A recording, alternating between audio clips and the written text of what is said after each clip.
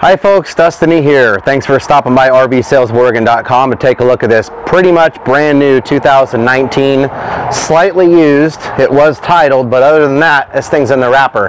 263 BHXL. It is a bunkhouse model. Starting here, you've got full pass-through storage. You got that nice laminate one-piece hardwood look-alike, so it's all water resistant. You got uh, the retract and extend um, electric jacks all the way around. You got solar prep on this thing, electric tongue jack with a light up here on the front. You got the larger extra capacity battery if you want to go with two big ones or two small ones, you can do that as well.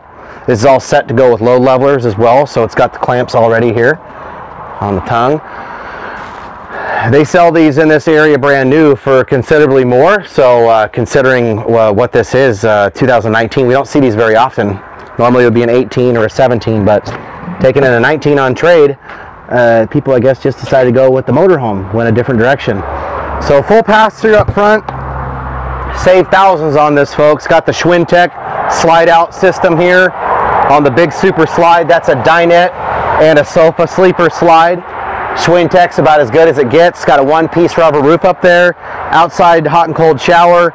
You got your black and gray tank out here. 30 amp power cord retracts out of the sidewall. You got uh, the upgraded water heater on this. You've got the storage uh, gate. This actually folds down. You can put bikes and things like that on top of this when it's flipped down. You can store your sewer hose in this bumper here. It's a radius crowned roof, which is good. It rains in Oregon and this uh, the Northwest, I guess they call it. So you want the water to roll off, not sit up there on a flat roof. Um, You've got uh, a double door entry on this actually. So your main entry is up in the front. Uh, this is access, just an extra door here to get into the bedroom.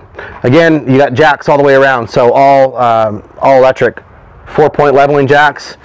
You got the upgraded tires on this. It's all six lug. Larger furnace. Um, going on up inside here, you got the solid step, which is great. Doesn't have the lesser expensive step that breaks and the welds crack and creates a lot of rattles and noise and people get hurt. So we don't want that. You've got upgraded equipment on this trailer. You got the nice solid surface countertop in here. Again, the laminate wood look-alike floor. The bunkhouse, probably the nicest attribute to this trailer in the rear. This is a perfect rig for uh, a family of four or six or larger. Uh, you could take it uh, to football games, great tailgater, lots of space. Either use those for sleeping or you could use it for storage. Check out that bathroom.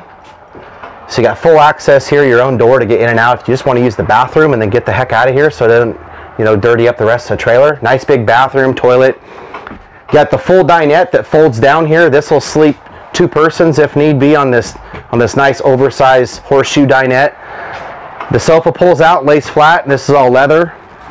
You got the nice uh, spot here if you want to put a big flat screen TV here. Lots of storage all the way around. Tons of storage. And then uh, going on in the bedroom here, you can take a look. You got a full walk around queen bed. You got dual sliders on both sides. So those just open right up. And you check out the nice uh, walk around queen bed here. Shelving up here, closet on both sides. So you kind of got the best of both worlds with this trailer and you're under 30 foot long. You got a 26 foot house on this thing. Gas electric refrigerator. And this pantry. Check out this pantry for a 26 foot trailer. This is a great.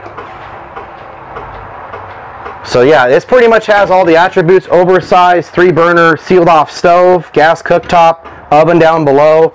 So you can bake, you can use the microwave up here for things, but lots of storage for your, you know, your utensils and things like that. It's got it all lined out there and then it's all ball bearing guides and things like that for your drawers. Uh, it's got ducted air conditioning, all of the extras and more. If you got any more questions on this or you want to know more information, I know it's horrible. You got to ask for Dustin so we can pick up where we left off. Uh, just ask for me. Uh, you can phone in uh, at the number listed on uh, the screen there or you can drop me an email. Uh, whatever works best for you. We will pick up where we left off and we can work out some kind of deal for a trade or no trade discount. See if we can't help you out a little bit more. You just got to ask for me. I know it. Um, but enjoy the rest of your day. Thanks for stopping by, folks.